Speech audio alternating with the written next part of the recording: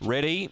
Racing, Spring Spirit third away, missing it badly, Electra Moon, and getting away, Miss Graphite, booted away, led by three. Blue Star Panther looks to be the pursuer. Three lengths to Spring Spirit with work to do. The leaders run wide here. Midfield then was Webleck Breeze, then Spring Brook and Electra Moon. Well, the two leaders ran off, and the favourite Spring Spirit We'll go and buy a lottery ticket, Benny Rawlings, because Spring Spirit was left with the race, left and won by six. Miss Graphite and Blue Star Panther will uh, battle out the minors.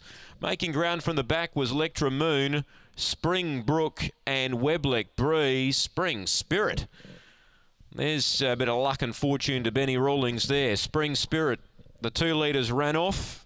It was running third, about three lengths off the leaders and it's got the best run you've ever seen. If you've backed the favourite, you've used some of your luck early in the day. Number seven, Spring Spirit.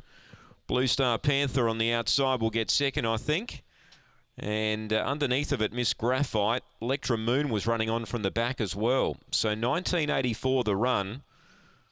Uh, they ran 1996 in the first, and seven's the winner, Spring Spirit. Ben Rawlings, and 444 that uh, first sectional, 756 and 1228. It was clearly third away, Spring Spirit, but it must have been five or six off the leader down the back and was working home. Not sure if he was ever going to look like he was going to win, but when the leaders came together and ran off, well, Spring Spirit saw the lure first and ducked through, took the lead and gets the cash, number seven.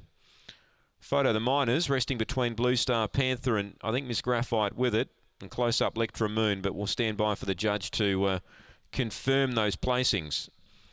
But uh, Spring Spirit, first up from a spell, has got the money for Ben Rawlings. Seven the winner. We await the minors. Race two.